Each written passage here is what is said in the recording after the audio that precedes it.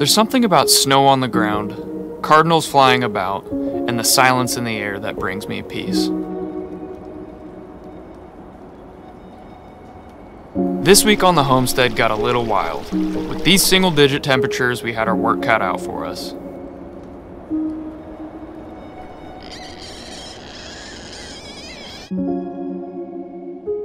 This is where our story begins, on a cold but mild day, preparing for the storms headed our way.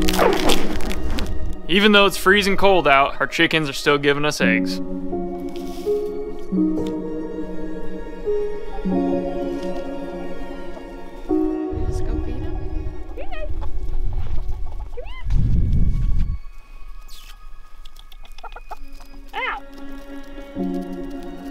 He always goes for my finger. Ashland's out here in slippers.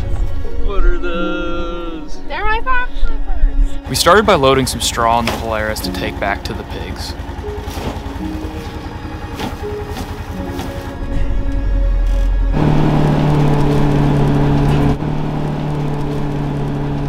We found straw to be the best thing to bed pigs with. It stays nice and fluffy, keeps them really warm, and they don't try to eat it all like they do the hay.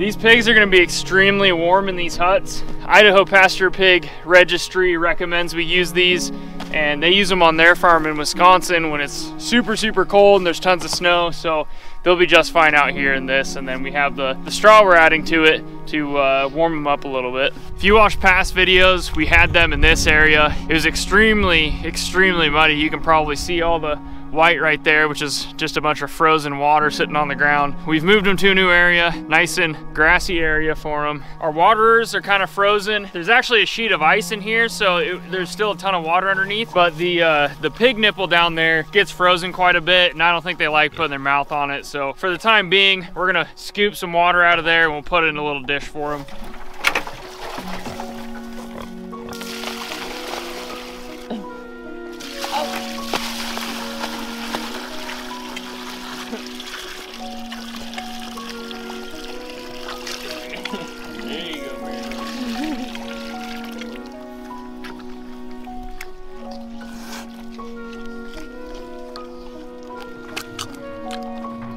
Well, it's super duper cold today. It's in the 20s. It's going to get in the single digits next week, so we are having to get them all snuggled up in their huts and get them super cozy. Water was a big issue this week. Thankfully, our yard hydrants didn't freeze, but our regular pig waterers were completely frozen, so we had to fill five gallon buckets. We had to break the water from the day before to make room for today's. Ashland was a really good sport coming out and taking care of the animals in these cold temps with me.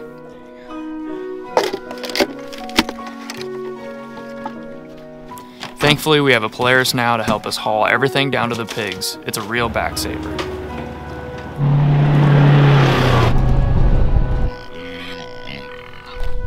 Every day we'd clean the snow off the solar energizer and make sure the pigs had plenty to eat.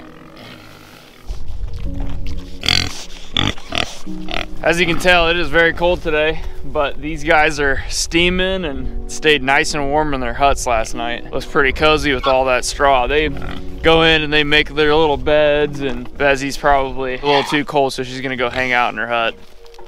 And it's back to breaking ice and watering the pigs. They really enjoyed their new water fountain.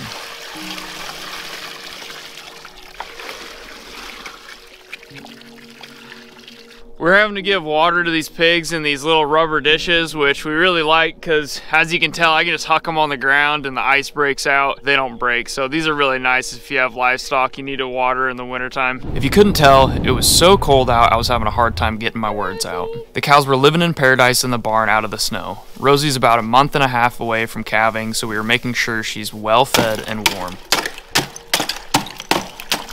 now that the cows are in the barn, they've been nice and warm for winter. We have both the aprons up on both sides, so they should be nice and toasty in here.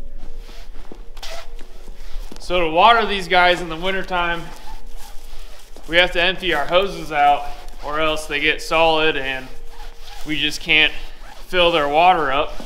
So this is what we do. We just raise it above our head and all the water comes out at the end. And then tomorrow, when it's 15 degrees, we can uh, turn the hose on and water them super easy. I'll watch out for you. We're re-splitting some of our wood because we want to get our fire nice and hot on these really, really cold nights. To me, these simple moments Ashlyn and I get to share are ones I'll remember forever.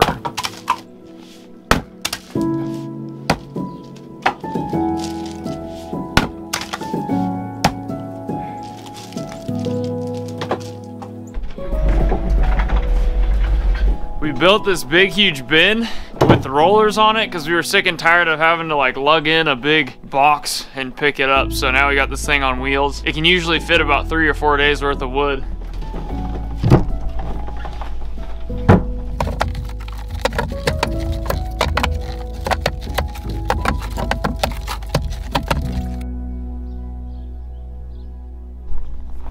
Oh, it was six degrees at 7 a.m. and right now it might be a balmy 8 degrees.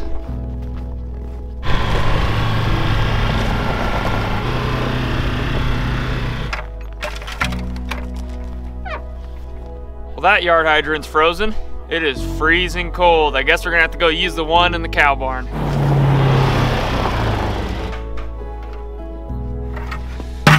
Fingers crossed.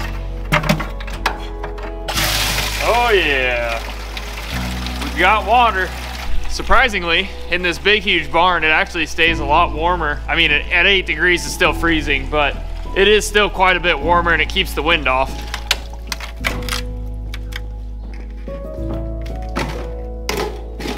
We might as well go fluff the cows' hay while we're in here, or else they're just gonna be mooing like crazy. Told you. Hey, Rosie, do we need to break your ice? Now we gotta fluff their hay. Or else they get angry with me. These might be the quickest morning chores I've ever done in my life because I want to get the heck out of this cold.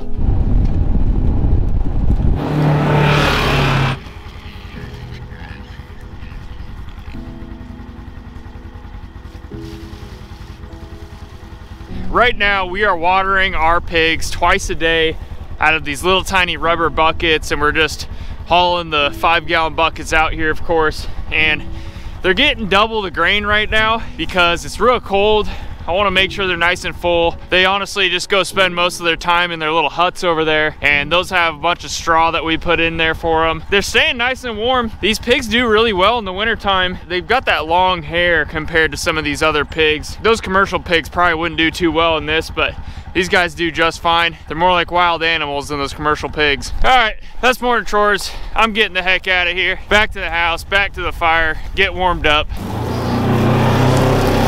But guess what? We're still getting eggs when it's eight degrees out. Our new chicks are staying nice and warm inside.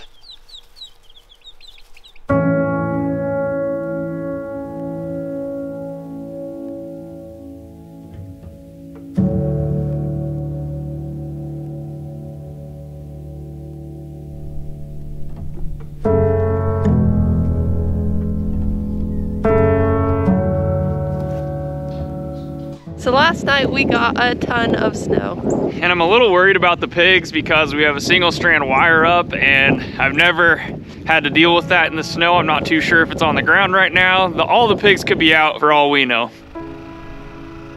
As I'm sitting here editing this video, I feel so thankful for the opportunities we have. To be able to wake up together, go out on one of the most beautiful days to continue our journey of self sufficiency. Truly, what a beautiful life it is.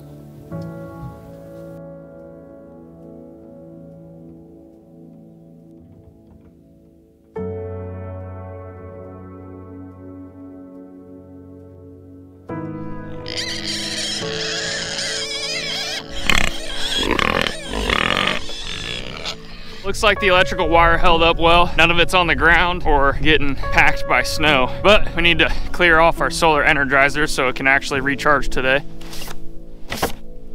Their huts are still nice and warm and dry. This is our second winter on this property and last winter we didn't get hardly any snow. Definitely not like three or four inches like we have right now. We've been looking forward to having a lot of snow on our property. Nice and beautiful and I don't know, there's something about it. It's nice and quiet and relaxing. This is our creek. You can barely tell that it's even there. The cows are staying extra warm. They're not even in the snow. Honestly, they probably don't even know it's snowing. They're all out of hay, so we're gonna roll a new bale over. If you have cows, you probably got a lot of this crap laying around. We're gonna leave the cows to it. They got a nice fresh bale on this cold day, and we're gonna head inside and get warm.